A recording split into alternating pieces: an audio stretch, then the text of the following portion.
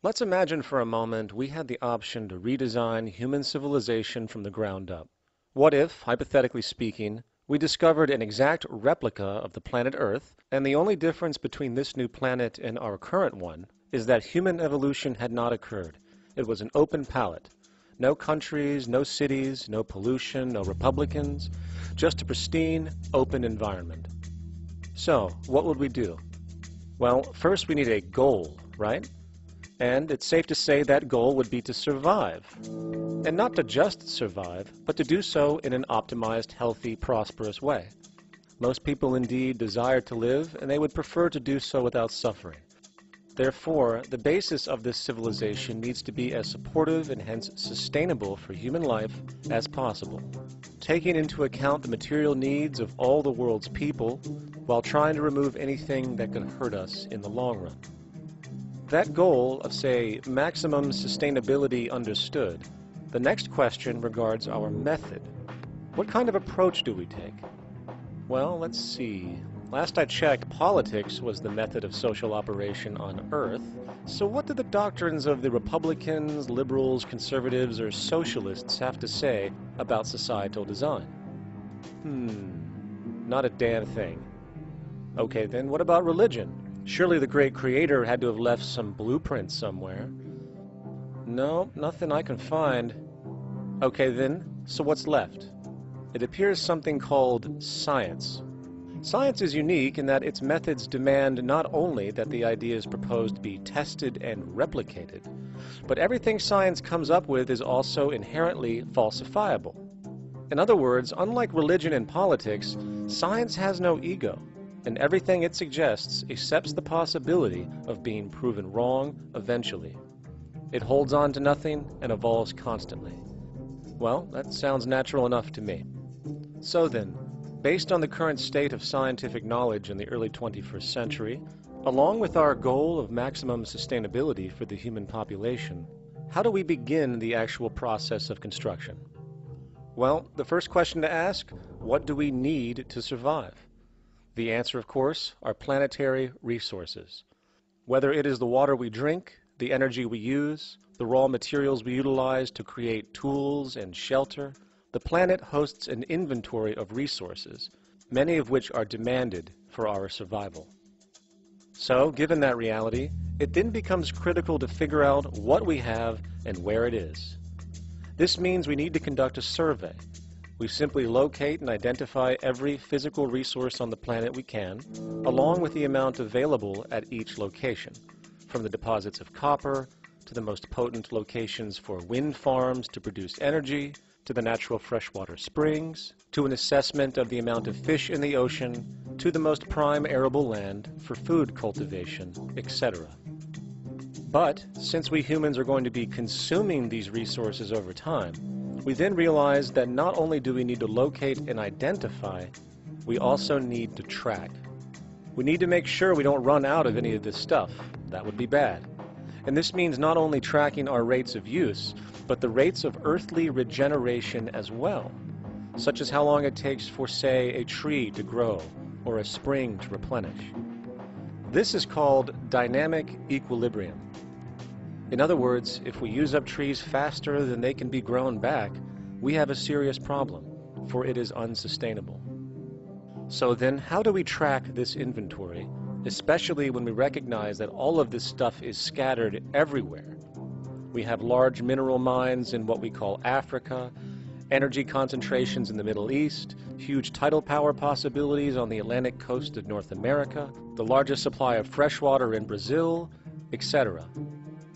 Well, once again, good old science has a suggestion. It's called systems theory.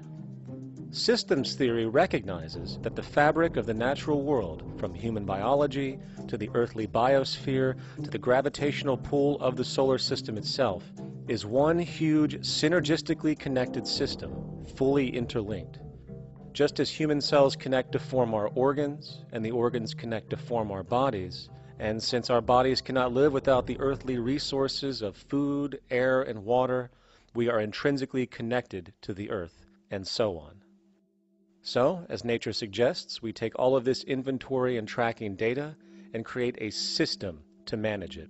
a global resource management system, in fact, to account for every relevant resource on the planet. There is simply no logical alternative if our goal as a species is survival in the long run. We have to keep track as a whole. That understood, we can now consider production. How do we use all this stuff? What will our process of production be, and what do we need to consider to make sure it is as optimized as possible to maximize our sustainability?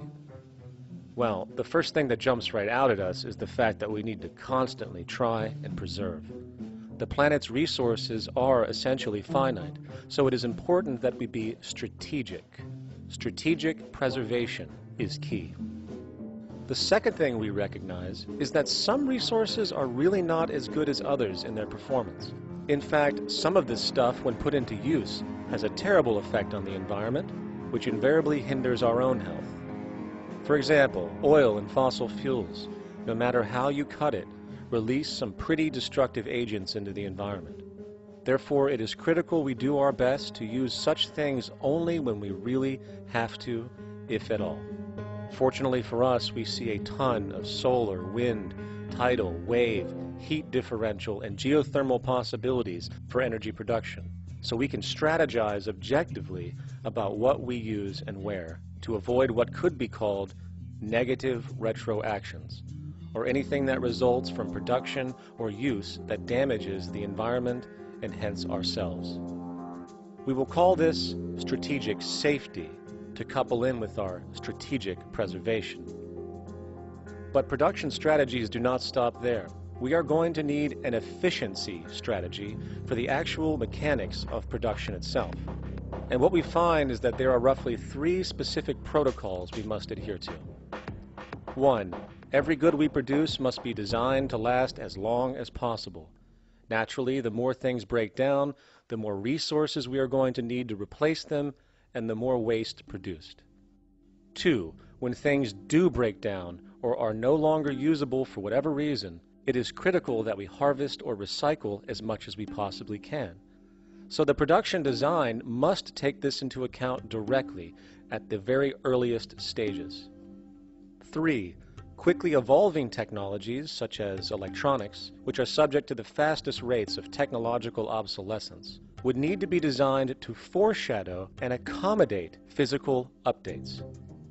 The last thing we want to do is throw away an entire computer system just because it has only one broken part or is outdated.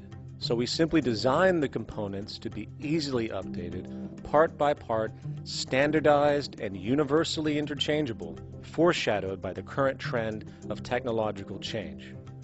And when we realize that the mechanisms of strategic preservation, strategic safety, and strategic efficiency are purely technical considerations, devoid of any human opinion or bias. We simply program these strategies into a computer which can weigh and calculate all the relevant variables, allowing us to always arrive at the absolute best method for sustainable production based on current understandings. And while that might sound complex, all it is is a glorified calculator not to mention such multivariate decision-making and monitoring systems are already used across the world today for isolated purposes. It is simply a process of scaling it out. So, now we not only have our resource management system, but also a production management system, both of which are easily computer automated to maximize efficiency, preservation, and safety. The informational reality is that the human mind, or even a group of humans, cannot track what needs to be tracked. It must be done by computers, and it can be. And this brings us to the next level, distribution. What sustainability strategies make sense here? Well, since we know that the shortest distance between two points is a straight line, and since energy is required to power transport machines, the less transport distance, the more efficient. Producing goods in one continent and shipping them over to another only makes sense if the goods in question simply cannot be produced in the target area. Otherwise, it is nothing but wasteful. We must localize production so distribution is simple, fast, and requires the least amount of energy. We'll call this the proximity strategy. which simply means we reduce the travel of goods as much as possible, whether raw materials or finished consumer products. Of course, it might also be important to know what goods we are transporting and why, and this falls under the category of demand. And demand is simply what people need to be healthy and to have a high quality of life. The spectrum of material human needs range from core life-supporting necessities, such as food, clean water, shelter, to social and recreational goods, which allow for relaxation and personal social enjoyment, both important factors in human and social health overall. So, very simply, we take another survey. People describe their needs, demand is assessed, and production begins based on that demand. And since the level of demand of different goods will naturally fluctuate and change around different regions, we need to create a demand distribution tracking system, so to avoid overruns and shortages. Of course, this idea is old news. It is used in every major store chain today to make sure they keep up with their inventory. Only this time we are tracking on a global scale. But, wait a minute, we really can't fully understand demand if we don't account for the actual usage of the good itself. Is it logical and sustainable for every single human to, say, have one of everything made, regardless of their usage? No, that would be simply wasteful and inefficient. If a person has a need for a good, but that need is only for, say, 45 minutes a day on average, it would be much more efficient if that good was made available to them and to others when needed. Many forget that it isn't the good that they want, it is the purpose of that good. When we realize that the good itself is only as important as its utility, we see that external restriction or what we might call today ownership, is extremely wasteful and environmentally illogical in a fundamental economic sense. So, we need to devise a strategy called strategic access. This would be the foundation of our demand distribution tracking system, which makes sure we can meet the demand of the population's needs for access of whatever they need when they need it. And as far as physically obtaining the goods, Centralized and regional access centers all make sense for the most part. Placed in close proximity to the population, and a person would simply come in, take the item, use it, and when finished, return it when it is no longer needed. Sort of how a library works today. In fact, these centers could not only exist in the community in the way we see local stores today, but specialized access centers would exist in specific areas where often certain goods are utilized saving more energy with less repeat transport.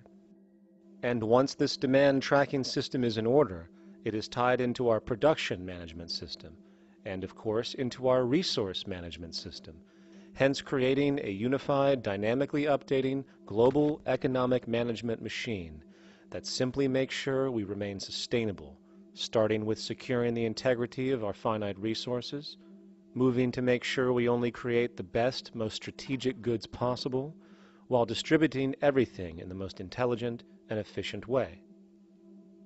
And the unique result of this preservation-based approach, which is intuitively counter to many, is that this logical, ground-up, empirical process of preservation and efficiency, which can only define true human sustainability on this planet, would likely enable something never before seen in human history.